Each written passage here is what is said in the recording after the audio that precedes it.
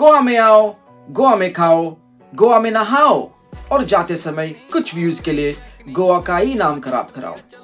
ये ट्रेंड चल रहा है कुछ छपरियों का और आज का रोस्ट ऐसे ही कुछ छपरियों के लिए। लड़के बोलते हैं कि हाँ if you go to Goa you will get girls so easily ये है छपरी नंबर वन पापा की परी। ये कहती है कि गोवा में लड़कियाँ इजीली मिल जाती है। हाँ हाँ इजीली मिल जाते हैं। हम तो उनको शॉप पे बेचते हैं। एंड फॉर गर्ल्स बोलते हैं फॉरेनर नहीं पटाया तो क्या पटाया? फॉरनर ओहो। ये दीदी है होनी फॉर अ फॉरेनर दीदी अपनी शक्ल तो देखा करो फॉरेनर पटाने से पहले। मैं तो बंदी के लिए आऊँ भाई। तभी भाई का हाथ यहाँ चला गया। ये है चपरी नंबर टू गेंडा बाई। ये आया गोवा में बंदी के लिए। अब मैंने पूछा अभी यहाँ पे बंदियाँ कब मिलेंगी? कह रहे अगस्त अक्टूबर में आनी शुरू होगी। अक्टूबर में आ जाएँगी? अबे गेंडा भाई चिड़िया है क्या वो अक्टूबर में आ जाएँगी? भाई मुझे गोरी बंदियों से ज़्यादा लगाव है ना। अच्छा। हाँ, गोरिया बंदी अक्टूबर में आएँगी। अपनी इंडियन माड़ी है? ओ यार भाई चमड़ी गोरी चाहिए ना भाई।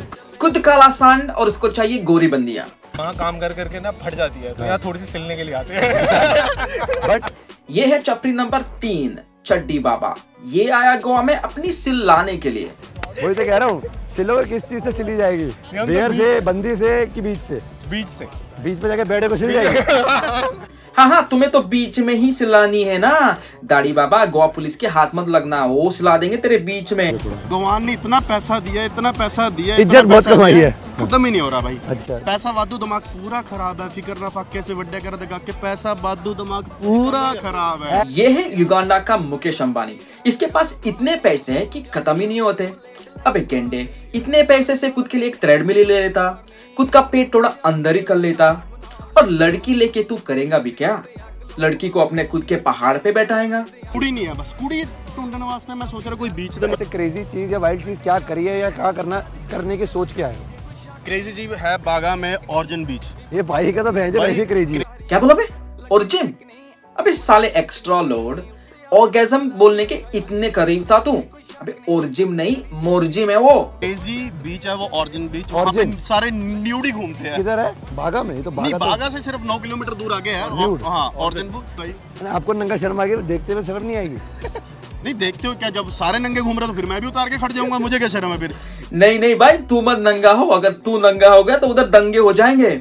और हमको नहीं देखना तेरा लटकता doorbell. Scoring a foreigner of course hmm यही तो है लड़कियों की विराट कोहली। एक भाई हमारा बॉल से स्कोर करता है और दीदी को करना है फॉरनर से स्कोर। Doing stuff with हाँ on the on the beach itself somewhere yeah. This दीदी is thinking of doing stuff on the beach. अरे दीदी तू एक के बीच में कर या फिर दो के बीच में कर? भगवान के लिए गोवा के बीच में मत कर। मैंने बीच पे जाके अकेले डांस किया है। अच्छा ये है चपरी नंबर चार अपनी सलोनी दीदी। जो भी मैं I have met a random guy and I have kissed him as well on the beach अरे सलोनी दीदी रात के अंधेरे में रैंडम गाय नहीं था वो। गाय था।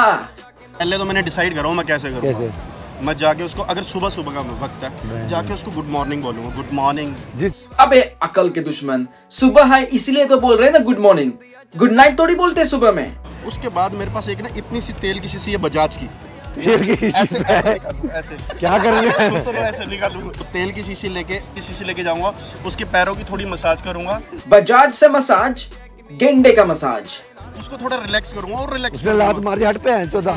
मैं खा लूँगा लात को खा भैया। मसाज करते रहोगे। खा लूँगा मसाज करता ही रहूँगा अंग्रेज- अंग्रेज़ की? अंग्रेज़ की। फिर? मतलब कि गोरी चमड़ी को लाल जब तक करके छोड़ ना दूँ ना हाँ। मसाज करता ही रहूँगा करता ही रहूँगा। सोमाली के अलादीन मसाज करता रहूँगा करता रहूँगा जीनी निकालेगा क्या उसमें से बस ये अप्रोच करने का तरीका ये अप्रोच करने का तरीका उसको थोड़ा रिलैक्स मसाज तू नहीं हमारी गोवा की पुलिस भी देती है और तेरी चमड़ी लाल नहीं चमड़ी से आग निकलेगा मैंने सुना यहाँ की पुलिस बड़ी हाँ, तो किसी लड़के को people have a mindset whenever they come here they have this mindset Why- already if why? somebody is coming and talking to you then it is probably for the very same reason so People don't have a mindset, Didi. It's your mindset. In Goa, we speak to everyone very respectfully. Just don't be a cheap Indian man Low. Don't be a chep. Chep क्या होता है अभी? Please I can give you guidelines okay what are the guideline कैसे approach करा हे जाए excuse me are you from Bombay No, I am from Bombay. Hey hi just be nice okay how to approach लड़कियों approach को क्यों पटाना यार ये दीदी सबसे अच्छी बोली लड़कियों को क्यों पटाना? क्यों क्यों पटाना यार I want to buy you a drink how do I say in Polish hi Polish? No na hi Chodzę no drinka? या शी सेड यस सो नदरिंका नदरिंका अच्छा हुआ कोई गो वाले से नहीं पूछा? अगर कोई गो वाले से पूछता तेरे जैसे बंदों को हम बोलते ए चिरेचा डोना गेटा इस महाराज को देखो इसने तो किस कभी देखा नहीं आज का दिन का बंदोबस्त हो गया लंच में किस डिनर में किस बेड में जाने से पहले भी किस Thank you for watching this video. Just before you leave, I'd like to clarify that this roast wasn't aimed at you or anyone personally.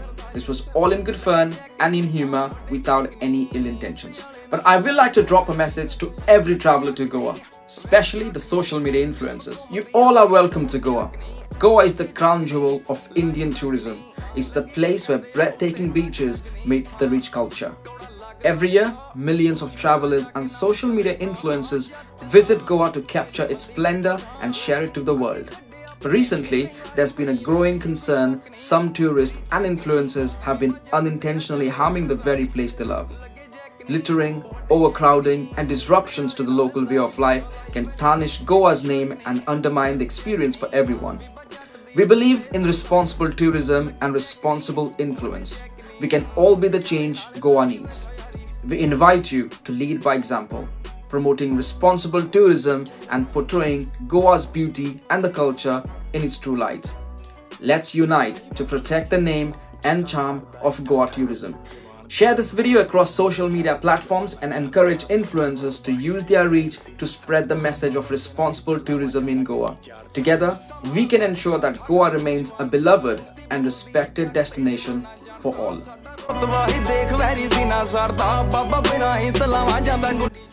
Are you ready to experience the ultimate Goan musical extravaganza right here in the UK? DJ Ken Gracious is here to bring the vibrant rhythms of Goa to your dance floor. DJ Ken Gracious is a passport to the pulsating beats and electrifying energy of Goan music. Whether you're a fan of Konkani tunes, Goan trance, or the latest Bollywood remixes, DJ Ken Gracious has got you covered. ਸਰਦਾਰੀ ਚੱਲੇ ਲੱਗੇ check ਨਹੀਂ ਵੱਡੇ check ਨਹੀਂ ਉੱਤੇ ਵਾਲੇ ਨਾਲ ਲਾਈ ਬੈਠਾ ਆਈ ਬੈਠਾ ਜੇ ਕੋਈ ਸ਼ੱਕ ਨਹੀਂ ਕਰੀ ਚੈੱਕ ਨਹੀਂ ਵੀ ਜੱਟ ਦੀ ਆ ਚੱਲੇ ਸਰਦਾਰੀ ਲੱਗੇ ਚੈੱਕ ਨਹੀਂ